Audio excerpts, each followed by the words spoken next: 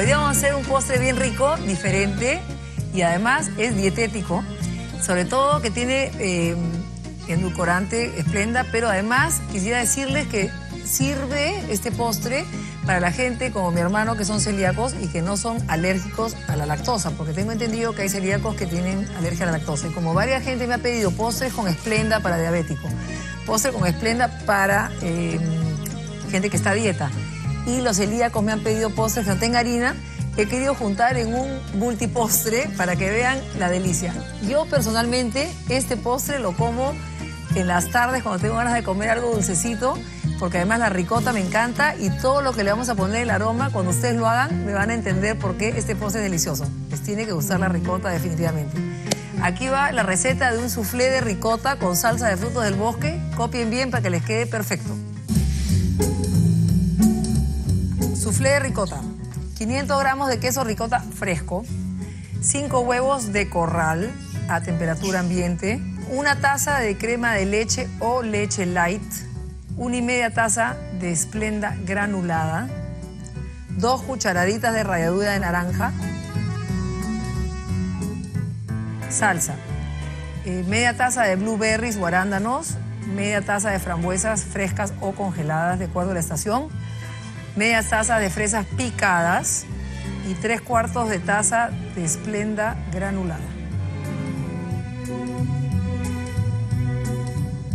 Para hacer nuestro soufflé vamos a hacer una, mm, una gama de diferentes tamaños porque hay gente que se lo come así grandote como yo, o hay gente que lo quiere comer como postre así un poco chiquito para comerlo o de postre o en, la tarde cuando tiene hambre y quiere comer algo que no sea frío, sino calientito, porque hay gente que se come en la tarde un yogur, pero dice, no, el yogur muy frío, algo calientito. O uno más chiquito todavía, así que quieren comerlo más chiquito. Yo particularmente me como el de este tamaño porque yo soy comelona, pero empiezo a comer esto y no lo puedo dejar de comer porque me encanta. Entonces lo voy a hacer de varios tamaños para que ustedes sepan.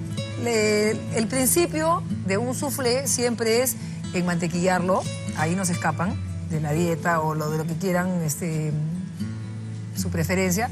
Pero en lugar de ponerle azúcar blanca granulada, le vamos a poner el esplenda y vamos a impregnar todos los moldecitos con el esplenda en polvo. Esto hace las veces para que cuando el, suflecito ustedes lo coman, se desprenda bien de los costados y eh, haga las veces de azúcar, ¿no? Entonces lo ponemos así y vamos a ponerlo en todos los moldecitos. Vamos a ponerlo por acá, por acá y por acá. A impregnarlo bien y todo lo que sobra se regresa por acá y así. Y después, este, depende del tamaño de lo que ustedes quieran comer, lo vamos a acomodar bonito en el plato para que ustedes vean. Este es un postrecito que puede ser de cena, de almuerzo, de media tarde. inclusive si lo quieren comer calientito de desayuno, también es riquísimo. De verdad, este es un postre multiusos. A mí particularmente, como les digo, me encanta. Viene a ser un poco como que el relleno de la torta ricota sin la masa que tiene harina. Y le estamos poniendo otros elementos para que sea un poco más, entre comillas, ligero. Si ustedes, no lo quieren hacer ligero y les gustan las cosas bien, bien cremosas, Solo tienen que reemplazar, en lugar de la leche ultra light o light o ligera, como se puede decir, sin grasa, crema de leche, que también es delicioso, es riquísimo. Así que ustedes ya verán el nivel de, calorías que le quieran poner a su suflé. Entonces, para empezar, vamos a poner, la ricota tiene que ser bien fresca. ¿Por qué? Porque tiene que tener aire y, como queremos que sea como una especie de soufflé, vamos a hacerlo con una ricota bien fresca. Acá tenemos el medio kilo de ricota. Y lo primero que vamos a hacer con esto, la vamos a batir en la batidora. ¿Por qué? Porque queremos que le entre aire.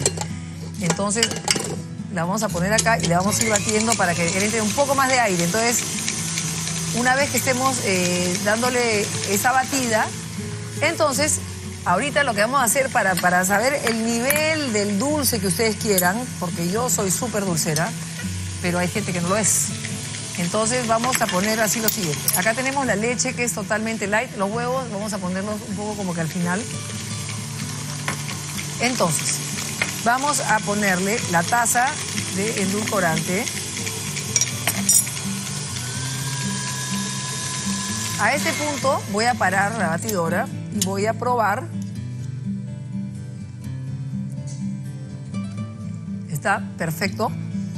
Pero como va a ir huevos y va a la leche, le voy a poner la taza entera, porque yo personalmente soy dulcera, entonces yo le pongo una taza. Por medio kilo de ricota, una taza de esplenda. Entonces a este punto, que ya sabemos cómo está el dulce, está bien rico, le vamos a poner los huevos y lo vamos a batir bastante con los huevos, de uno en uno, o de poco en poco así, ya, vamos a ponerlos. Y lo vamos a dejar batir para que agarre consistencia de la ricota con los huevos. Vamos a dejarle un rato ahí. Vamos a retirar esto de acá. Y con una espátula vamos a mover acá al costado para que todo se integre y no vaya a ver que no se batió algo de por ahí. Vamos a seguir batiendo y le va a entrar bastante aire.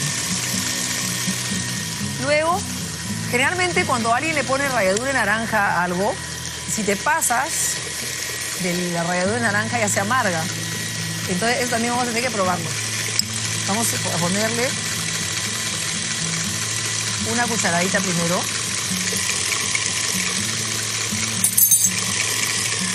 Y vamos a probar.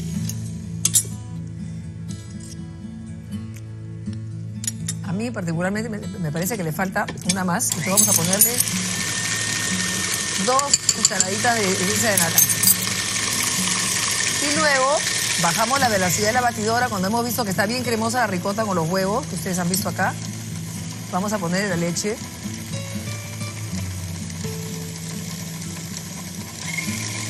Poco a poco para que se junte bien. Y nos quede una crema homogénea.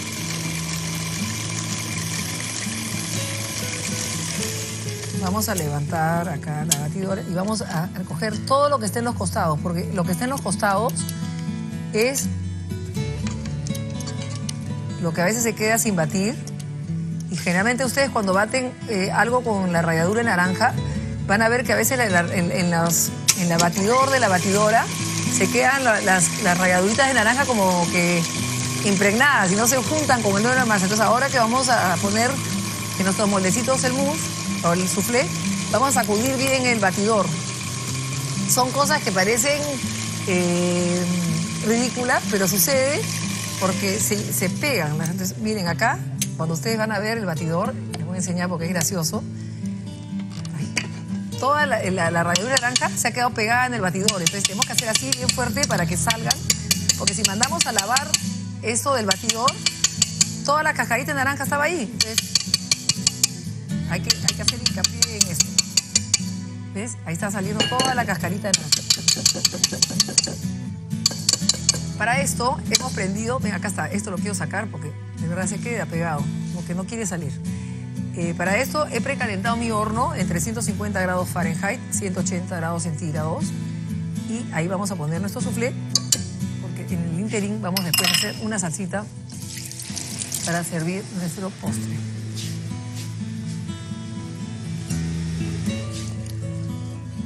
Recogiendo todo lo que está acá, ven, ahí está.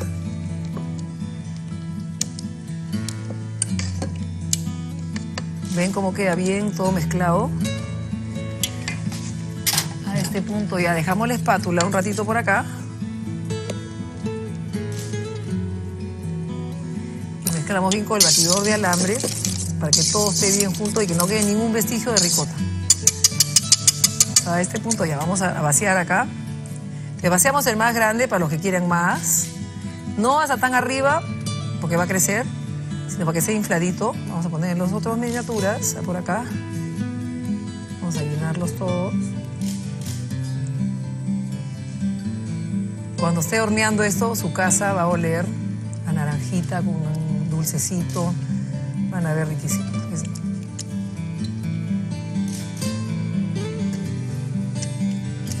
Recoger todo lo que está acá.